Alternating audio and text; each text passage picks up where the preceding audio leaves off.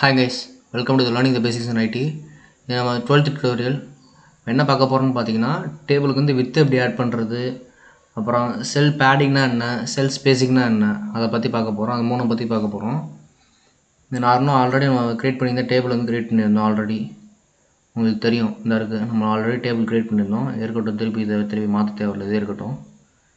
இப்போ அதோட வித்து வந்து எப்படி இருக்குன்னு பார்க்கலாம். மூணு சொல்லியிருந்தேன். With cell padding and cell spacing with டேபிளுக்குள்ள வந்து ஆட் பண்ண போகிறோம் அந்த டேபிள் வந்து வித்து வந்து இப்படி வித்து என்ன வித்து என்னன்னு பார்த்தீங்கன்னா முதல்ல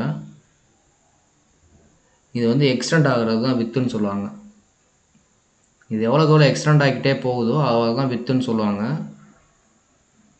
ஆட் பண்ணி காட்டுறேன் உங்களுக்கு. அது என்ன டேக்குன்னு பார்த்தீங்கன்னா வித்து தான் வித் ஈக்குவல் டு கமாக்குள்ளே ஒரு செவன் ஹண்ட்ரட்னு கொடுத்துக்குறேன். செவன் ஹண்ட்ரட்னு கொடுத்துக்கப்புறம்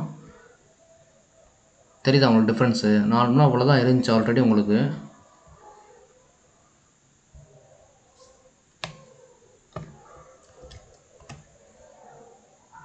இப்போ பாருங்கள் இவ்வளோதான் இருக்குது விற்று கொடுக்குறதுக்கு முன்னாடி இவ்வளோ தான் இருந்துச்சு. இப்போ கொடுத்ததுக்கப்புறம் எவ்வளோ இருக்குன்னு பாருங்கள் விற்று கொடுத்ததுக்கப்புறம் டிஃப்ரென்ஷியேட் தெரியும்னு நினைக்கிறேன் உங்களுக்கு இதுதான். வித்து வந்து எக்ஸ்டெண்ட் ஆகிட்டு போயிருக்கு. இதுதான் தெரியுது உங்களுக்கு? இதுதான் இது வித்து. நெக்ஸ்ட் என்ன பார்க்கலாம்னு பார்த்தீங்கன்னா செல் பேடிங் செல் பேடிங்லாம் உங்களுக்கு சிஎஸ்எஸ்லலாம் ஆட் பண்ணுற மாதிரி இருக்கும் இதெல்லாம். நான் டிஃப அடுத்து பின்னாடி சொல்லித்தரேன் உங்களுக்கு. செல் பேடிங்னு கொடுத்துட்டு நான் ஒரு டென்னு கொடுக்குறேன். உங்களை என்னென்னு டிஃப்ரென்ஷியேட் பண்ணி காட்டுறேன் பேடிங்னா ஒன்றும் இல்லைங்க. இது வந்து எப்படி சொல்கிறது ஒரு சுற்றி வந்து கேப் வந்திருக்கு பாருங்கள் இது பெருசாகலை அதே இடத்துல தான் இருக்குது வந்து உங்களுக்கு வந்து ஸ்பேஸ் வந்து அலை அலைனாக இருக்குது அவங்களுக்கு பார்டர் மூணு நாலு பக்கமும் சுற்றியுமே பேடிங் வந்து எல்லாம் எப்படி ஸ்ப்ளிட் ஆகும் உங்களுக்கு? ஸ்பேசிங் வந்து இது வந்து டெக்ஸ்ட் எல்லாமே சென்டரில் வந்துடும் உங்களுக்கு சுற்றி வந்து ஸ்பேசிங் வந்து அலைன் இருக்கும் இங்கிட்ட ஸ்பேஸ் அலைன் ஆகிருக்கும் இங்கிட்ட ஸ்பேஸ் எல்லா சுற்றியுமே ஸ்பேஸ் வந்து அலைன் ஆகிருக்கும் நீங்கள் எவ்வளோ கலர் கொடுக்குறீங்களோ அவ்வளோ வந்து ஸ்பேஸ் வந்து அலைன் ஆகும். நான் ஒரு டுவெண்ட்டின்னு கொடுத்தீங்கன்னு வச்சுக்கோங்களேன். இன்னும் இங்கே பாருங்கள் ஸ்பேசஸ் எல்லாமே டிஃப்ரென்ஸ் ஆகிட்டுருக்கு உங்களுக்கு. ஸ்பேசஸ் எல்லாம் ஸ்ப்ளிட் ஆகி உங்களுக்கு அப்படியே பெருசாக தெரியும் உங்களுக்கு. கண்டென்டட் சைஸஸ் எல்லாமே அதே தான் இருக்கும். ஆனால் உங்களுக்கு ஸ்பேசிங் வந்து அதிகமாக இருக்கும்.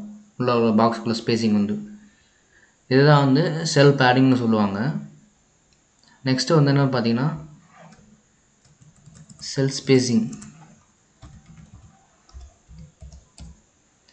செல் ஸ்பேசிங்னா ஒன்றும் இல்லை. இப்போ என்னென்னு காட்டுறேன் உங்களுக்கு. இங்கேயே ஒரு டென்னு கொடுக்குறேன். டென்னு கொடுத்தோம்னா இப்போ பாருங்களேன். பாக்ஸஸ் எல்லாமே அதே தான் இருக்குது இது எல்லாமே சிங்கிள் சிங்கிள் பாக்ஸஸ் தான் டிஃப்ரெண்ட் ஆகிட்டு உங்களுக்கு தெரியும்னு நினைக்கிறேன். ஒரு பட்டன் டைப்பில் க்ரியேட் ஆகிடுச்சு எல்லாமே. ஒரு பட்டன் மாதிரி க்ரியேட் ஆகிருக்கு உங்களுக்கு. மூணுக்கும் டிஃப்ரெண்ட் ஆகி தெரியும்னு நினைக்கிறேன். வித்துனா உங்களுக்கு இது வந்து எக்ஸ்டெண்ட் ஆகிறது வித்துன்னு சொல்லுவாங்க. பேடிங்னா உள்ளக்குள்ள ஸ்பேசிங் எல்லாமே டிஃப்ரெண்ட் ஸ்பேசிங் எல்லாமே உள்ள கேப் வந்து அதிகப்படுத்தி காட்டுறதுக்கு. ஸ்பே சி சாரி பேடிங்னா எல்லாமே ஸ்பேஸ் வந்து அதிகப்படுத்தி காட்டுறதுக்கு. இப்போ வந்து ஸ்பே ஸ்பேசிங்னா என்ன சொல்லுவாங்க பார்த்தீங்கன்னா அது எல்லாமே பட்டன் டேப் மாதிரி க்ரியேட் ஆகிருக்கும் உங்களுக்கு தனித்தனியாக டிஃப்ரென்ஷியேட் ஆகிருக்கும் தனித்தனியாக உங்களுக்கு புரியும்னு நினைக்கிறேன். இப்போ வந்து நீங்கள் அதிகம் படுத்தி காட்டினீங்கன்னா திருப்பி ஒரு டுவெண்ட்டி கொடுத்தீங்க வச்சுக்கோங்களேன். பாருங்கள் கண்டென்ட் எல்லாமே அதே சைஸில் தான் இருக்குது உங்களுக்கு எல்லாமே டஃப் டிஃப்ரென்ஷியேட் ஆகி தெரியும் உங்களுக்கு தனித்தனியாக ஓகே ஃப்ரெண்ட்ஸ் இதுதான் சொல்லலான் இருந்தேன் உங்களுக்கு. இந்த வீடியோ புரியும்னு நினைக்கிறேன். இதாவது க புரியலைன்னா கமெண்ட் பாக்ஸில் வந்து கமெண்ட் பண்ணுங்கள் நான் ரிப்ளை பண்ணுறேன் கண்டிப்பாக உங்களுக்கு. ப்ரீவியஸ் இயரே பார்த்துருவாங்க. ஏன்னா கண்டினியூஸாக போயிட்டுருக்கனால ப்ரீவியஸ் இயரே பார்க்காம இருந்தால் அவங்களுக்கு புரியாது இது மறக்காமல் சேனலை சப்ஸ்கிரைப் பண்ணிடுங்க ஃப்ரெண்ட்ஸ் ஓகே ஃப்ரெண்ட்ஸ் பாய்